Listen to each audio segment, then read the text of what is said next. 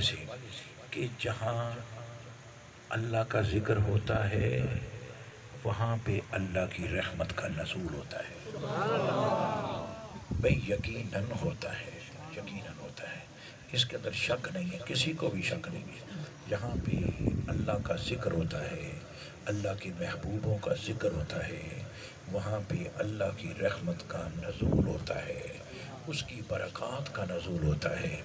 आप समझेंगे कि वो कैसे मेरे जहन में एक खाका, एक बात आई कि अमेरिका की एक खातून थी, नाम मेरे तो वो खातून अमेरिका की रहने वाली ये तकरीबन आज से बारह, चौदह साल पहले की बात है, शायद शायद। या मैं कम बता रहा हूँ या थोड़ा सा ज़्यादा बता रहा हूँ। तो वो सुबहान अमरीका से निकली और वो क्यों निकली?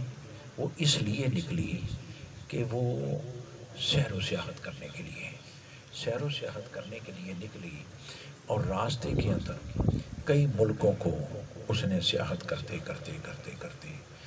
एक जगह, एक मुल्क उससे गुजर रही थी। उस मुल्क का नाम था यूनान।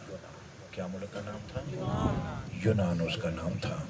ये अखबारों के अंदर भी बड़ा आया जरीदों के अंदर बड़ा आया और एडवर्टाइजमेंट करने वालों ने इंतहा कर दी थी कि वो यूनान के इलाके से गुज़र रही थी। एक रास्ते के अंदर दरख्त के करीब से वो गुजरी ना तो उसको बड़ा सुकून मिला। बड़ा सुकून मिला उसको। और वो उस दरख्त के नीचे बैठ गई। उसको बड़ा ही सुकून मिला। फिर उस दरख्त के नीचे से फिर उठी।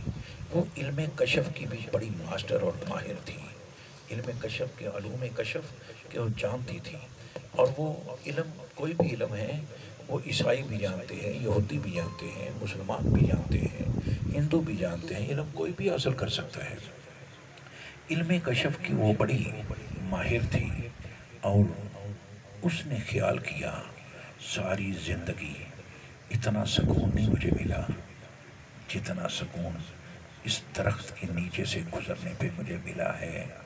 ये वजह क्या है तवज्जो है ना तवज्जो है ना अच्छा अगर आपकी तवज्जो होगी ना तो आप मोहब्बत के साथ सुबह अल्लाह ज़रूर कहेंगे इसलिए मेरे लिए नहीं कहना। आपने अपने लिए सुबह अल्लाह कहना। ये जो गुलामा मौलवी नात खान हाफिज़ कहते हैं ना सुबह अल्लाह को सुबह अल्लाह को तो उसका मकसद ये नहीं होता कि वो अपने अपने लिए भी होता है भाई, अपने लिए भी होता है। अपने लिए ये होता है कि पता चलता है कि वाकई तुम जाग रहे हो। और कुछ लोगों को ये खबर होती है कि आप सो गए हैं। तो जब आप सुबह अल्लाह कहते हैं तो वो नात खान मौलाना वो कहते हैं कि शायद ये यकीन ये जाग रहे हैं, जाग के सो रहे हैं। और कुछ लोगों को नात खानों को ये खबर होती है कि नहीं, आपके ध्यान तवज्जो किसी और तरफ़ है। इसलिए सुबह अल्लाह नहीं कह रही। किसी का ये ख्याल है कि यार शायद बेजार होके बैठे हुए हैं, तब सुबह अल्लाह नहीं कह रहे। तो जब आप सुबह अल्लाह कहते हैं, उसके दिल को थोड़ा सा ना टेक मिल जाती है, सहारा मिल जाता है कि नहीं नहीं, ये जाग रहे हैं, ये सुनने के लिए बैठे हैं, ये सवाल है और फ़ायदा आपका, आपको खबर भी नहीं है कि सुबह अल्लाह से आपको फ़ायदा कितना मिलता है।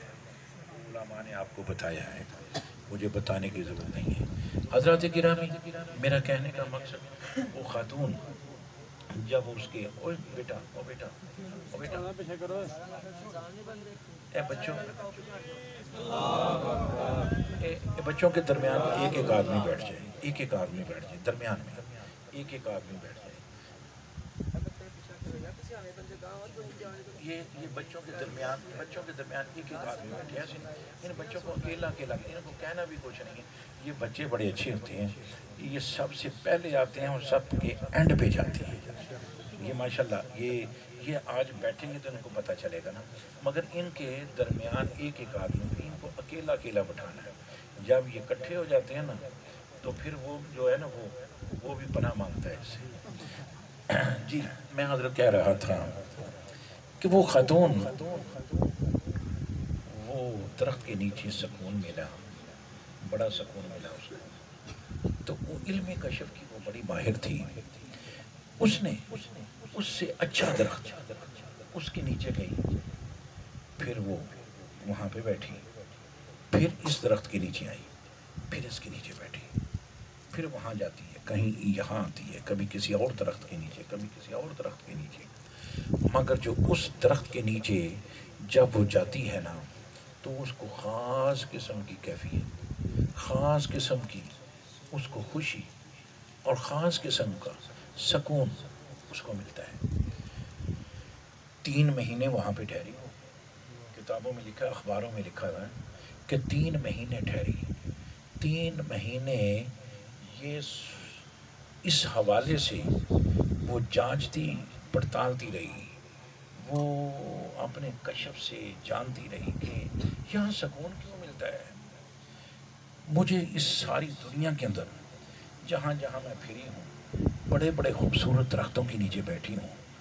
मगर वो सुकून नहीं मिला जो इस दरख्त के नीचे मिला है। वजह क्या है? आखिरकार तीन महीने के बाद उसको महसूस हुआ कि ये असल बात क्या है। इल्म कशफ से उसने जान लिया कि असल बात क्या है। वो ख़तून फिर लिखती है अखबारों के अंदर एडवर्टाइजमेंट के अंदर और तमाम मीडिया के हवाले से। उसने सबको बताया कि तीन महीने के बाद इस नतीजे के ऊपर पहुँची हूँ कि कोई वक्त गुजरा है, कोई टाइम गुजरा है, कोई ज़माना गुजरा है। इस दरख्त के नीचे कोई अल्लाह का वली थोड़ी देर के लिए बैठा है। कोई अल्लाह का बंदा।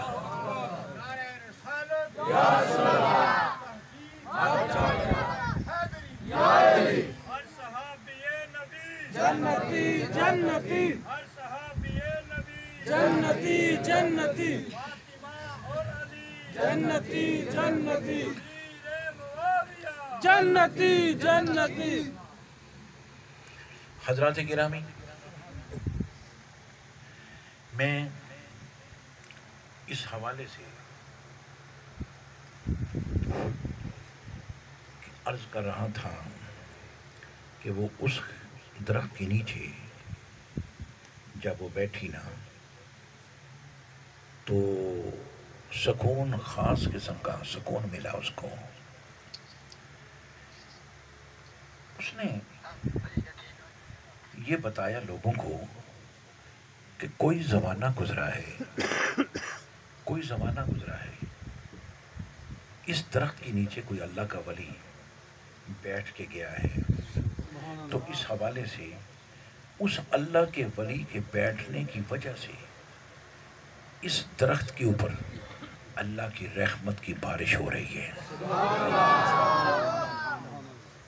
वो लिखती है कि वो अल्लाह का वली आज की बात नहीं है, वो न जाने कब से अरसा गुजर गया। वो दरख्त वो दरख्त ना था। वो दरख्त ख़त्म हो गया होगा। उस दरख्त से जो बीज गिरा होगा, फिर वो बीज शायद उगा होगा। उसकी वजह से, या जैसे भी, वो वो दरख्त ना था, ज़माना गुजर गया, मगर उस दरख्त वाली जगह के ऊपर अल्लाह का वली बैठ के चाँद लम्हे, चाँद दिन, अल्लाह अल्लाह अल्लाह अल्लाह अल्लाह अल्लाह, अपने रब अपने रब को याद करता रहा। तस्वीर दलील करता रहा। विरदो वज़ाइफ करता रहा, जो उसके मामूलात थे। उसके बाद वो अल्लाह का वली चला गया। कहते हैं, वो कह रही है, मेरे कशफ, इल्म कशफ के हवाले से मैं इस नतीजे के ऊपर पहुँची हूँ। उस वक्त से इस दरख्त के ऊपर अल्लाह की रहमत की बारिश जब हुई, उस वक्त नहीं हुई। जिस वक्त अल्लाह का वली बैठा, उस वक्त हुई, उसके बाद ख़त्म हो गई। उसने कहा यह नहीं है। मैं इस नतीजे के ऊपर पहुँची हूँ। उस वक्त जब अल्लाह का वली यहाँ बैठ के अल्लाह अल्लाह करता रहा, उस वक्त अल्लाह की रहमत की बारिश इस दरख्त के ऊपर बरसनी शुरू हो गई और उस वक्त से लेकर आज तक इस दरख्त के ऊपर अल्लाह की रहमत की बारिश बदस्तूर हो रही just two